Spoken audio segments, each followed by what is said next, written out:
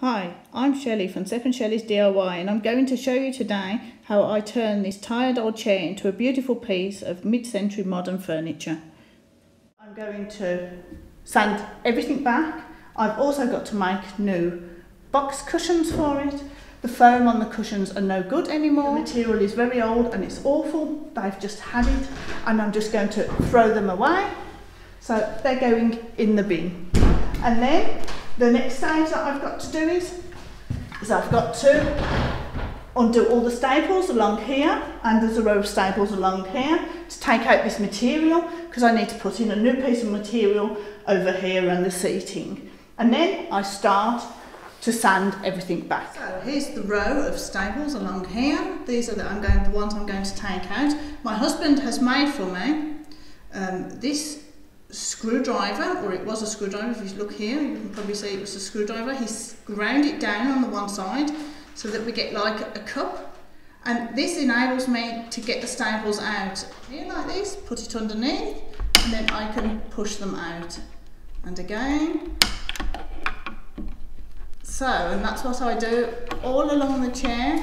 I get them out, and I take every single staple out that I can get out now taken all the clamps or staples out along here and there, got rid of that horrible dirty piece of material.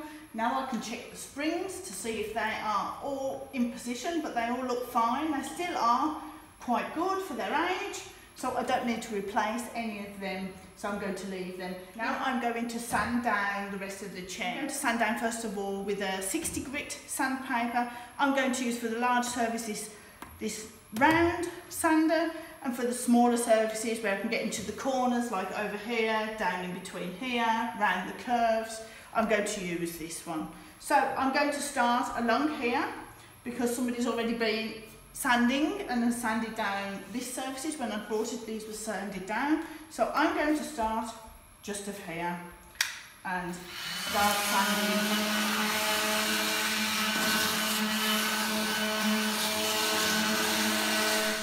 So now I'm going to do the flat surfaces. I do the flat surfaces with the round sander. I also use um, a grit paper 60 um, and this is only for the flat surfaces. You can't go around any corners or anything, it's just to get the varnish off all these flat surfaces.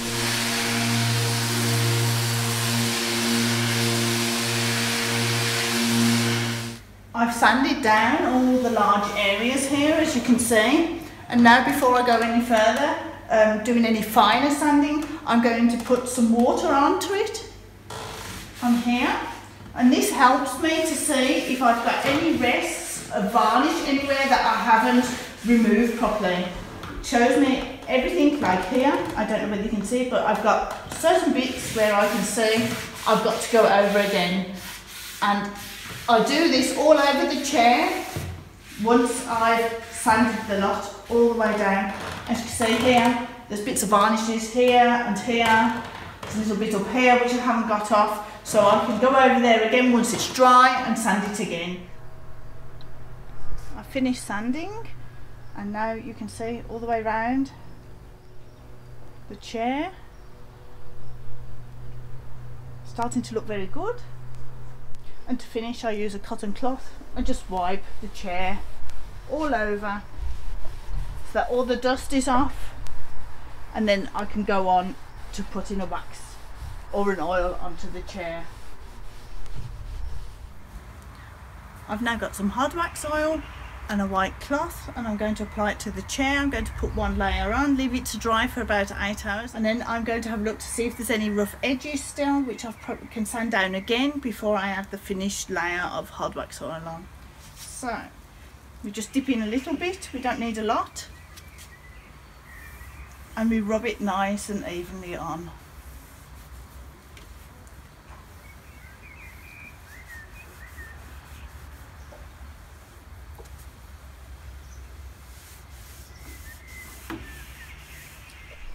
I'm now going to cover the springs with a piece of felt.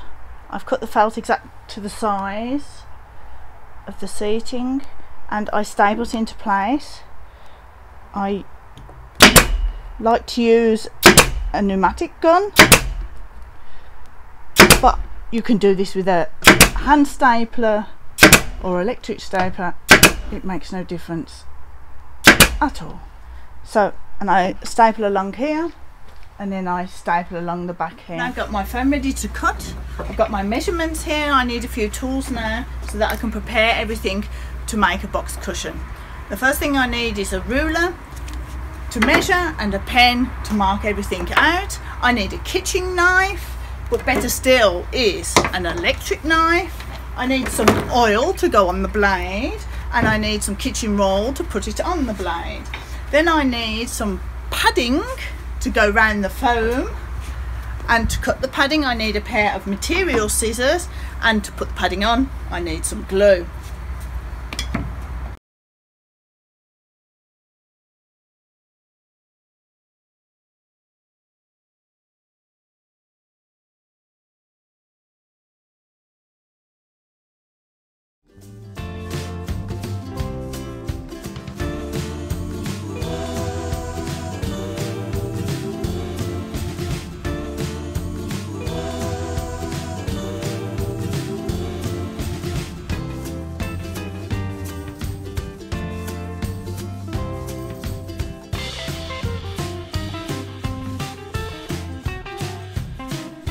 Material which I thought just suited it super and it's such a big difference to how this chair was at the start. I think we've done a great job.